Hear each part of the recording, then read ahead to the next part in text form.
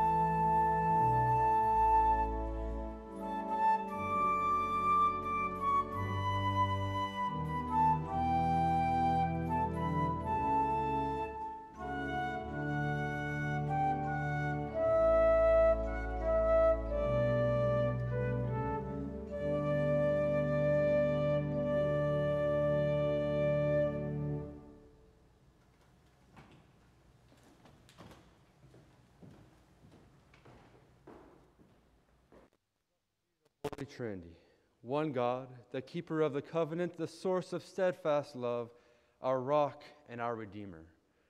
Amen. God hears us when we cry and draws us close in Jesus Christ. Let us return to the one who is full of compassion. Fountain of living water, pour out your mercy over us. Our sin is heavy and we long to be free. Rebuild what we have ruined and mend what we have torn. Wash us in your cleansing flood. Make us alive in the Spirit to follow in the way of Jesus as healers and restorers of the world you so love. Amen. Beloved, God's word never fails. The promise rests on grace. By the saving love of Jesus Christ, the wisdom and power of God, your sins are forgiven, and God remembers them no more. Journey in the way of Jesus. Amen. Let us pray. O God, by the passion of your blessed Son, you made an instrument of shameful death to be for us the means of life. Grant us so to glory in the cross of Christ, that we may gladly suffer shame and loss for the sake of your Son, Jesus Christ, our Savior and Lord, who lives and reigns with you in the Holy Spirit, one God, now and forever. Amen.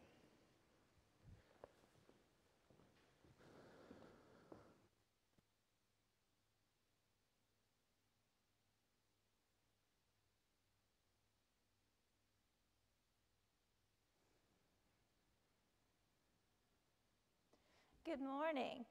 I brought with me today, I don't know if you can see it or not, but this is a crocheting hook my grandmother gave me. It was a gift to me, free, didn't have to do anything for it, freely given to me, and I can do anything with it that I want. I could put it on my shelf and forget about it and never pull it out again. I could use it to crochet some hats and scarves or blankets for other people. It is my gift, and I can do with it whatever I want. It's kind of like in our story today, we find out that Jesus gave to us the gift of love. When he died on the cross, that was a gift to us. Nobody can take that away from us. It is a gift freely given, and we can do with that love whatever we want. We can put it away and never think about it again and just know that God gave us love through Jesus. Or we could use Jesus' love to give to others, to remind them of his love. It is your choice. Nobody can take it away from you, no matter what. But using that gift of love to show others his love is really what Jesus wants us to do. By doing things like um, helping mom or dad around the house, giving hugs to people, blowing kisses when you can't actually be close to them, sending cards, ca- calling or texting, just letting someone know that you love them. Those are great ways to share in Jesus' love. Let's say a prayer. Dear God, thank you so much for the gift of love that you gave to each of us freely without anything that we had to do just knowing that you love us helps us each and every day. We ask all this in your name, Lord. Amen.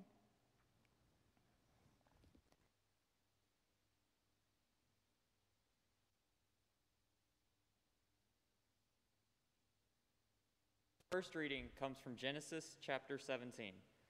When Abram was 99 years old, the Lord appeared to Abram and said to him, I am God Almighty. Walk before me and be blameless, and I will make my covenant between me and you, and will make you exceedingly numerous. Then Abram fell on his face, and God said to him, As for me, this is my covenant with you. You shall be the ancestor of a multitude of nations. No longer shall your name be Abram, but your name shall be Abraham, for I have made you the ancestor of a multitude of nations. I will make you exceedingly fruitful, and I will make nations of you. The kings shall come from you. I will establish my covenant between me and you and your offsprings after you throughout the generations. For an everlasting covenant to be God to you and to your offsprings after you. God said to Abraham, As for Sarah, your wife, you shall not call her Sarai, but Sarah shall be your name. I will bless her, and moreover, I will give you a son by her, and I will bless her, and she shall give rise to nations. Kings of people shall come from her.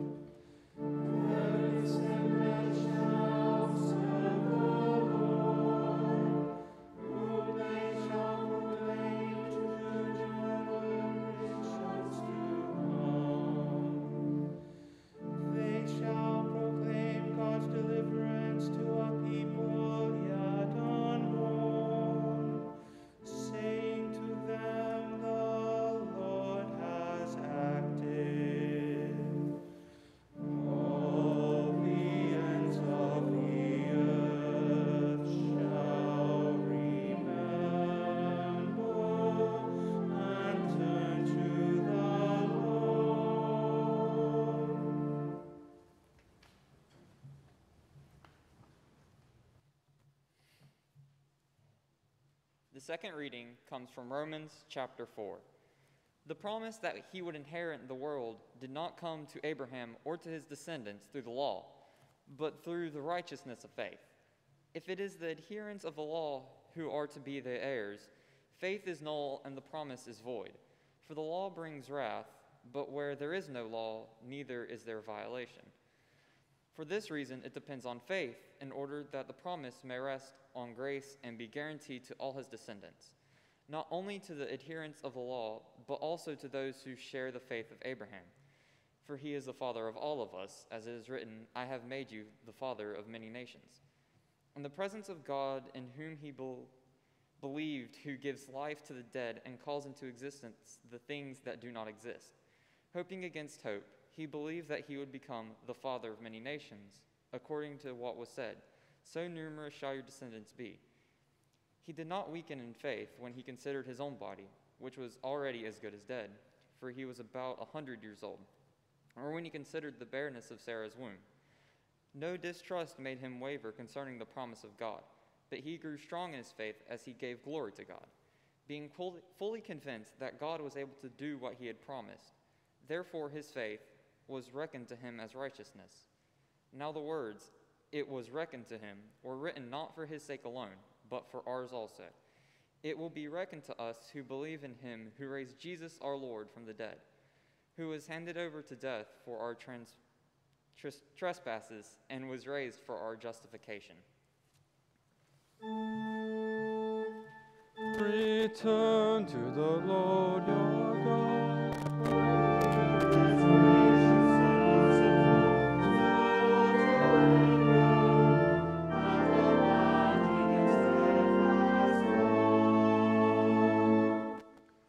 Holy Gospel according to St. Mark, the eighth chapter.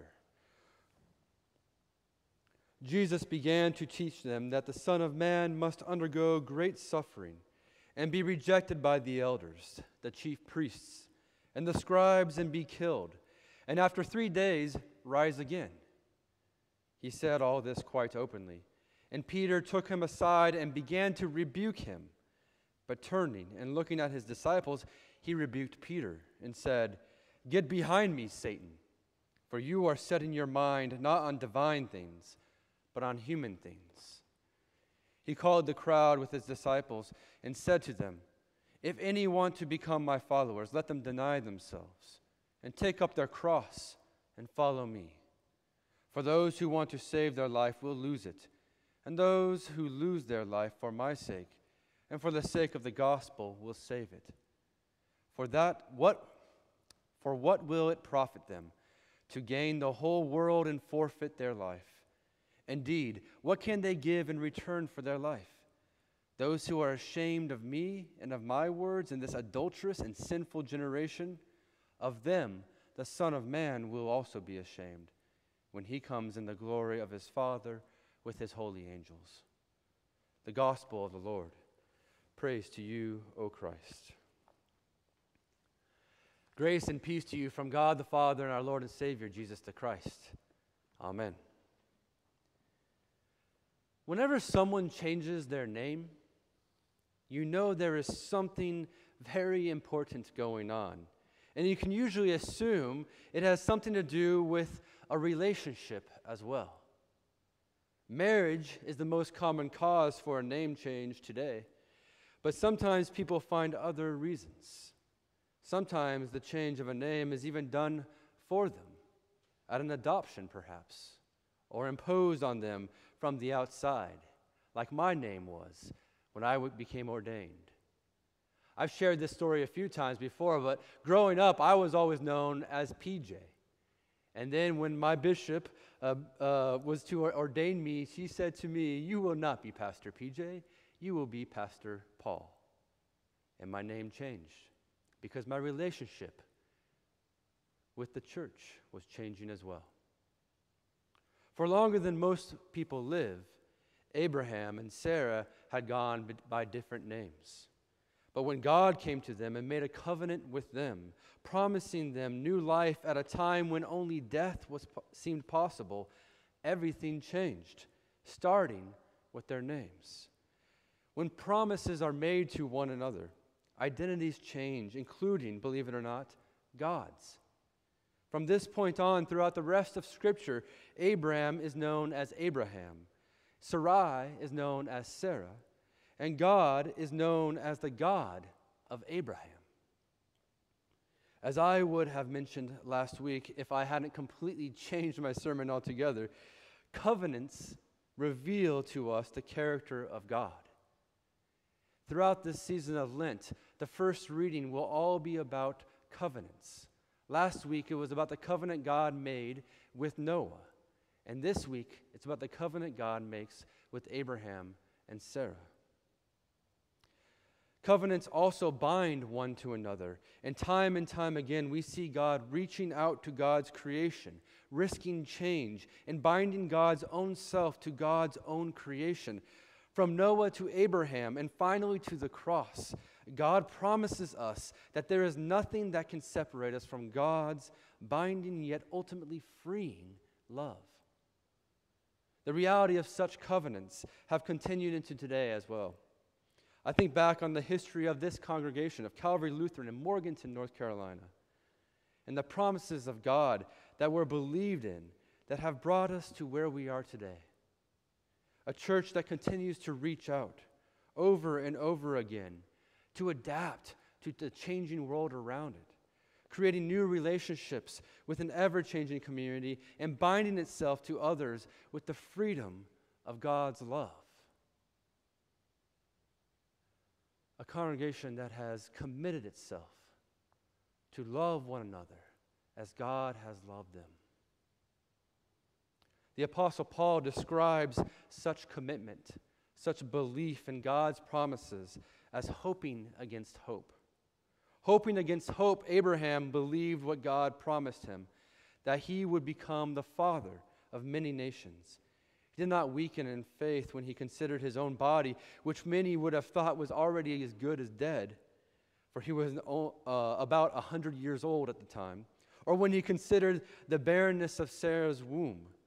No distrust made him waver concerning the promise of God, but he grew strong in his faith as he gave glory to God, being fully convinced that God was able to do what God had promised hoping against hope at age 100. Abraham did not weaken in faith, but grew stronger, giving even more glory to God as he faithfully followed the promise. Some people may see an organization like the church over 2,000 years old as nearly dead and irrelevant. But the church continues to over and over again spring up anew strengthened by the faith of those believing in God's promise. People will say that ministry of God cannot be done, not here, not in us, not now. It's too late, not in the midst of a pandemic. But God has promised, My will be done on earth as it is in heaven. And God's promises are true. In Christ, it is never too late to believe in God's promise. Through the cross, God's covenant of new life with us is everlasting, always new, always present, and always committed, no matter what the age we might be living in. It may look strange, it may look completely different than we expected, it may even give cause for a new name, a change of identity altogether. But the will of God will be done throughout Christ's body Again, it's always worth repeating. God has promised to do so, and God's promises are true. In this church, I have been blessed to know so many inspiring models of faithfulness. You are all powerful witnesses to the eternal promise God has made to God's people through Jesus. And you continue to show me every day, especially during this pandemic, even online that you cannot limit God. Because as soon as you say, that's it, this or that is dead, there's no way the church can continue in an online format only. God must be done here. God goes and makes something new, opens our hearts and minds to something new altogether. Don't limit God. It's not like you can anyway. When it comes to God's love for you, God has no limits. Jesus proved that on the cross.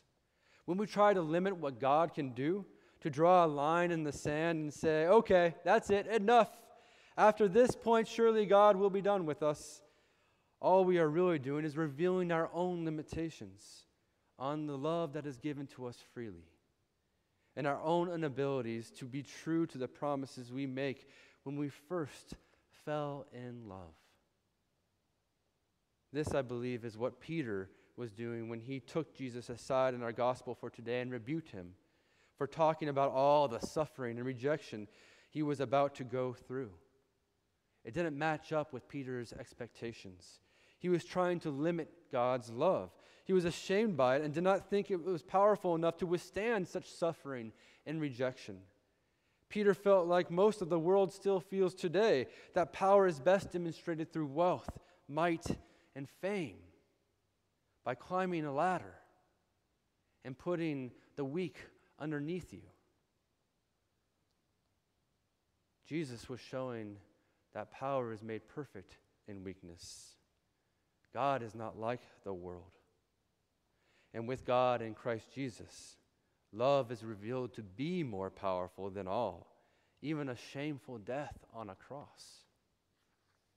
Here, especially during the season of Lent, we confess our shame that moves us into so many isolating places in our lives. We become so shameful for not believing in the promise that we fail to just open our eyes and see that God is still there, promising to us a new life. And we leave it at the cross, all of our shame. Then, as we receive God's promise of forgiveness and journey out from the cross, we confess our faith as the apostle Paul says in Romans 1:16, "For I am not ashamed of the gospel. It is the power of God for salvation to everyone who has faith." Hear the witness of the of the faithful in your lives. Even those who are maybe not as confident as Abraham or the apostle Paul and perhaps more like Peter. Hear the promises of God. Through those promises, God has bound God's self to you forever. Do not be ashamed. Be affirmed. Believe. Jesus loves you. Believe and be made new. Hear the voice of God at the baptism of our Lord, just before he was driven out into the wilderness. This is my Son, with whom I am well pleased. Through Christ, we share in that same baptism we share in that same pleasure to be called children of God. In the grace and love of God, you will hear Christ say unto you, You are my beloved. With you I am well pleased. Amen.